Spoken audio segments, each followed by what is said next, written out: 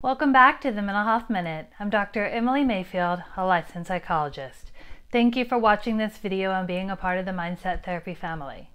For today's video, I'm going to discuss why narcissists cannot accept blame and why everything seems to always be your fault. The narcissists have an unstable sense of self that leads to many undesirable behaviors in a relationship, and blame shifting is one of them. But first, if you haven't already, please consider subscribing to my channel. The number of subscribers continues to grow and I appreciate all of your support. Also, comment below if there's a video topic that you would like to see.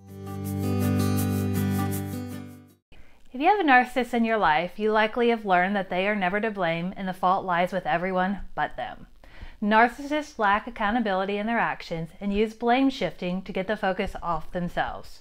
Through the blame shifting, they never learn how to take accountability, and this maintains the unhealthy way of responding to conflicts and disagreements. When a narcissist does something wrong, they do not have the ability to accept the wrongdoing. Their inner voice is already so critical, so to avoid further injury to their unstable sense of self, they project blame onto others. And people who don't have narcissistic personality traits they are able to acknowledge a wrongdoing, admit fault, and make changes. To acknowledge fault and accept blame brings a sense of calming and feels good because you have righted a wrong you felt in yourself. To the person with narcissistic personality traits, to accept responsibility doesn't feel good or provide resolution. It brings up more hurt and negative feelings. As a result, the better option for the narcissist is to project the blame. The fastest way out of the negative feelings they're experiencing is to put the blame on someone else. If the narcissist finds themselves in a position where they can't project the blame onto someone else, they feel vulnerable. Vulnerability is an uncomfortable feeling for them that, they, that can lead to narcissistic injury and then narcissistic rage. The narcissistic injury destroys their sense of superiority and grandiosity as their self esteem and self worth is being threatened.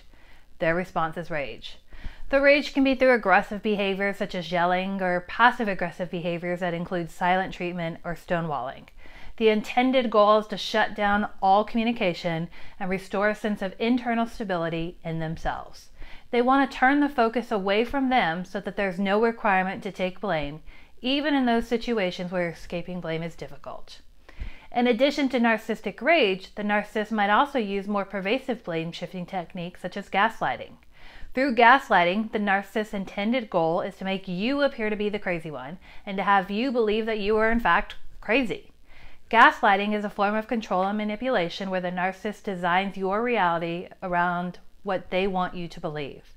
When the narcissist can gain the upper hand with gaslighting, then it leaves their partner always questioning their own reality, which makes it easier for the narcissist to place blame on them when situations come up. When a narcissist blame shifts, they don't have to take accountability. However, by not taking accountability for things that are actually their fault, there is no incentive to change. The narcissist will continue to engage in the same unhealthy behaviors, which prolongs this pattern. This is where the projection of blame can not only be damaging to the relationship, but also to the expectation of change in the narcissist. Narcissists' unstable sense of self doesn't allow them to work on themselves, and the lack of empathy prevents them from seeing how their actions affect others. Emotionally healthy people can consider others in their actions, and the narcissist cannot. While a narcissist can change, the first step is wanting to change, and that is often the roadblock to initiating change in the narcissist. As the emotionally healthy partner in a relationship, the change is more likely to come from you. So don't wait around for a narcissist to be something different that they are incapable of becoming. Take the control back and work on things that you can control in the relationship by not allowing the narcissist to continue to blame shift onto you. Comment below if you've ever experienced blame shifting in a relationship. Your experience can help people feel less alone and also provide them ideas on how to handle situations that come up in their own life. Also, if you enjoyed the content of this video, please give it a thumbs up.